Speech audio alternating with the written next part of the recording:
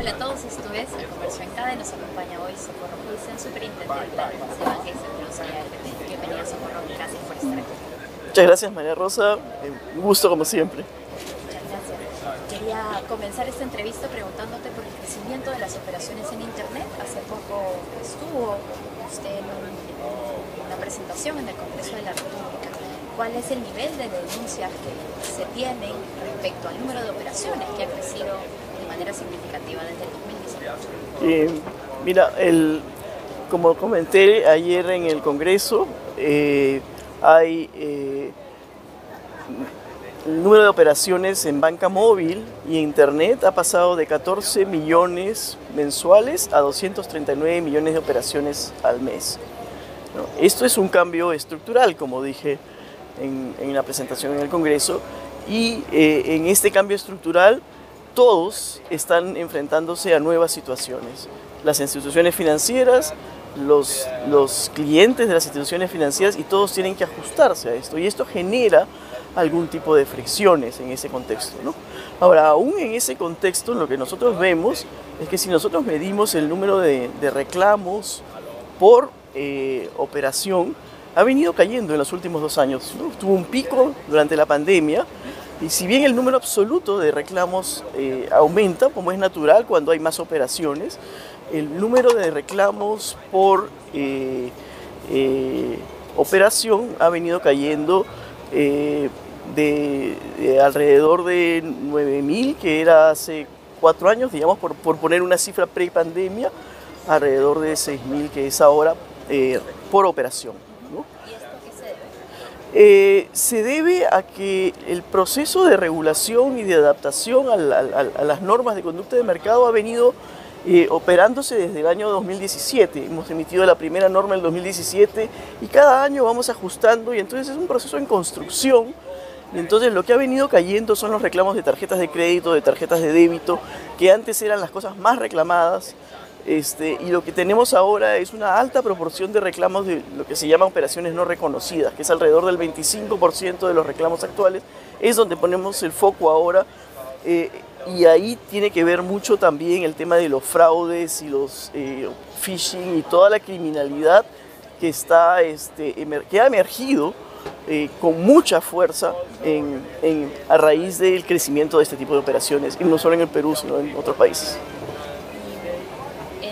de regulación? ¿Hay algo en ese sentido que se esté preparando?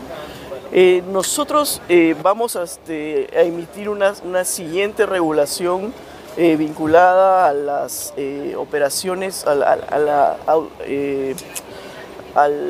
a la manera en que se contratan las operaciones digitales, probablemente el próximo año o en los próximos meses, quizás antes de fin de año. Este, seguimos ajustando eso. Este, Gobierno de producto es otra, es otra regulación que estamos preparando en, en, términos digitales. También para, para la gran operación de productos digitales se necesita afinar un poquito la, la normativa, ser más precisos en la, en la, normativa de este tema. ¿Antes de fin de año? No, la de, la de eh, contratación digital sí, la de gobierno de producto no. La de gobierno de producto es más adelante, en esa, esa está en, en estudio, en elaboración.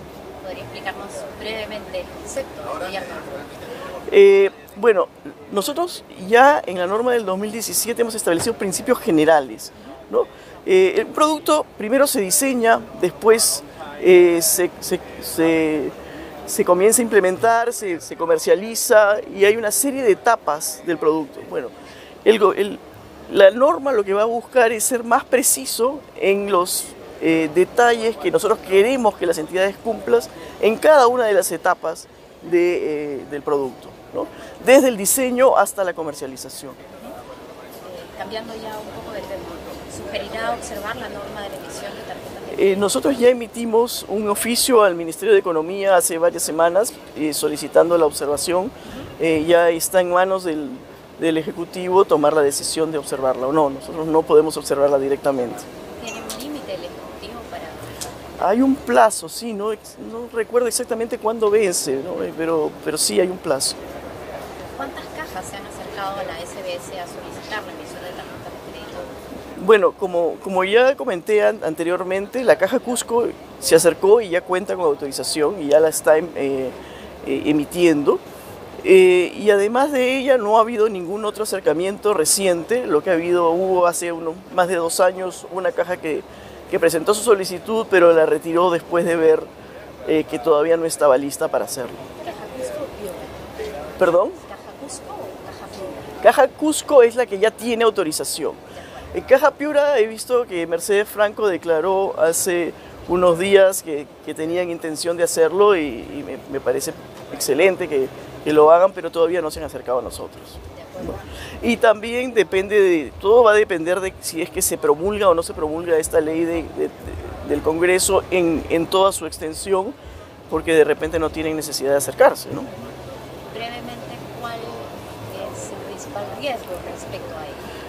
Eh, yo diría que hay dos, ¿no? Eh, uno es que eh, el producto de tarjeta de crédito eh, tiene dentro un crédito revolvente y la gestión del riesgo de crédito de un crédito revolvente es mucho más compleja que la de un crédito simple, ¿no? Porque el cliente es el que tiene la decisión de en qué momento hace el desembolso del crédito.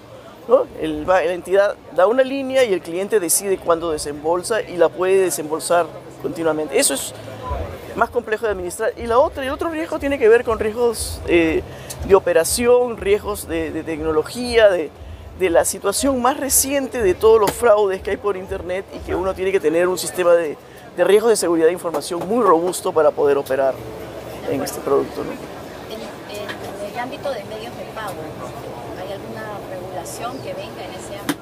Eh, bueno, primero el, el regulador del sistema de pagos en Perú es el Banco Central y como todos sabemos, sí, el Banco Central ha, eh, ha emitido recientemente una, una, una norma al respecto y se está trabajando y, y- y en ese tema lo trabajamos muy coordinadamente con el Banco Central y con la industria porque es un tema realmente fundamental para el desarrollo del sistema financiero peruano, para la inclusión financiera en el largo plazo.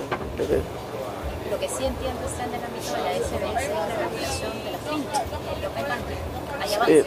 eh, eh, nosotros venimos trabajando el tema de fintech desde hace varios años. Eh, hemos primero coordinado con, con el Congreso la publicación de una ley sobre crowdfunding que se hizo eh, con, eh, y que la supervisa la SMB. Hemos emitido regulación sobre modelos novedosos o sandboxes, como se, produce, se conoce más, más este, técnicamente.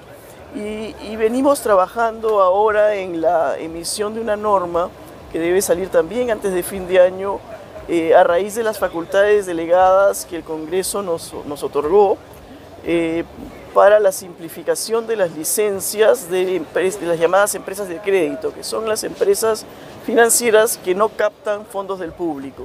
Nosotros pensamos que simplificando esta licencia hay una serie de entidades que, que son fintech que pueden entrar por este canal y puede eh, generarse una mayor competencia en el sistema financiero. Eso es lo que tenemos en el corto plazo. Con respecto a Open Banking, Open Banking es un tema más de mediano plazo, lo estamos trabajando. Eh, pensamos que eh, para que Open Banking viene con una gran cantidad de oportunidades, pero también viene con riesgos, ¿no? porque Open Banking consiste en básicamente que el cliente autoriza a un tercero, a una empresa tercera, a tener acceso a sus datos personales en las entidades financieras para proporcionarle algún tipo de servicio que el cliente desee. Bueno, este acceso de, de los datos personales del cliente tiene que ser un acceso seguro. Y entonces necesitamos que antes de que se apruebe una, una normativa y se implemente el Open Banking, tenemos que tener un sistema de seguridad de la información y de ciberseguridad bastante más robusto y- y se consolide la norma que ya ha sido implementada de ciberseguridad. Estamos hablando quizá de cinco Eh, años. Estamos hablando de, yo diría, no, no cinco años menos, ¿no? pero probablemente un par de años. ¿no? Respecto al tema de la fintech, el tema de la realidad de la interoperabilidad es un tema que le compete al Banco Central. ¿no? Sin embargo, las fintech sí están bajo la FE, la SBS. ¿Hay posibilidad de que las fintech entren a interoperar? Eh, bueno, yo creo que sí, pero nuevamente la interoperabilidad es parte del Banco Central. Y, y- y te corrijo, las, fintech, no es que las fintech estén bajo la, la- la tutela de la SBS, digamos, la SBS supervisa el sistema financiero. En tanto haya fintech que estén interesadas en realizar operaciones eh, de, captación de depósitos tienen que optar, por una licencia bancaria o una licencia de caja o de empresa financiera y si les interesa realizar operaciones de dinero electrónico tendrían que optar por una licencia de dinero electrónico o una, empresa de, una licencia de empresas de crédito. Entonces, en ese sentido pueden estar bajo nuestra tutela si es que ingresan a operar eh, en, en los negocios que nosotros supervisamos pero no es que haya nada que diga que la SBS supervisa las fintech. O sea, no existe en el Perú. No, no, no es una obligación y tampoco es una necesidad, porque hay, digamos, la fintech es eh, muy, la gama de, tipos de fintech es enorme. Hay fintechs que, que básicamente lo que hacen son servicios al sistema financiero. Entonces, esas no las supervisamos nosotros son proveedores del sistema financiero y en la medida en que son proveedores, el sistema financiero tiene que aplicar las normas de riesgo de operación, de seguridad de información nuestras, pero nosotros supervisamos al sistema financiero y el sistema financiero es responsable de hacerse cargo de que los contratos que hace con la FICTES permitan preservar la seguridad de la información del banco, de los clientes y de todo en todo el proceso. Pasando ya a otro tema, eh, y mirando la situación de las microfinancieras, ¿cuál es la fortaleza patrimonial que tienen en este momento. Entendemos que son los siete pudieron acceder al programa de fortalecimiento patrimonial. Bueno, no es que pudieron, sino que siete eh, postularon y, se acogieron, ¿no? Y fue voluntario. Eh, no hubo eh, ninguna microfinanciera a la que se le negó el acceso. Todas las que quisieron y necesitaban accedieron. Las demás que no accedieron es porque consideraron que no lo necesitaban y lo que nosotros vemos es un sistema financiero que está adecuadamente solvente, líquido eh, y, que, y, que es eh, claramente sostenible. ¿no? ¿Ha aumentado ligeramente las, han aumentado ligeramente las, tasas de morosidad de las instituciones financieras? ¿Cuál es la situación del cumplimiento? Sí, eh, la, tasa de morosidad ha aumentado eh, ligeramente en los, en los últimos años. Eh, yo diría que por dos razones. Una es una razón corriente que tiene que ver con la, caída del crecimiento económico, la, cierta recesión en la que estamos, que hace que haya un mayor problema de pagos nuevo de los deudores. Y otro es que todavía quedan algunos rezagos del procesamiento de los riesgos que se incurrieron en la pandemia. Eh, recordemos que muchos de los créditos se reprogramaron en ese momento y algunos de esos deudores eh, ya, ya tienen problemas, todavía se está, el sistema está revelando información con cierto nivel de rezago a medida que los créditos reprogramados más largos eh, caen en mora. Entonces una, es, una viene del pasado, de la, los últimos efectos de la pandemia y otra viene de la recesión. Eh, no vemos eh, motivo de, preocupación en este momento con respecto a eso, pero siempre estamos vigilantes y miramos muy de cerca lo que sucede en el mercado microfinanciero y en todos los mercados. ¿Y para la mirada del 2023 es la misma? La mirada del 2023 es la misma.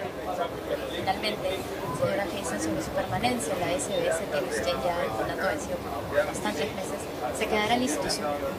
Bueno, es un tema que no, una decisión que no me compete a mí, ¿no? Es una decisión del, del presidente de la República que tiene que ser ratificada por el Congreso este, y, nosotros estamos asumiendo la responsabilidad en la medida en que no haya un sucesor designado. Muchísimas gracias por estar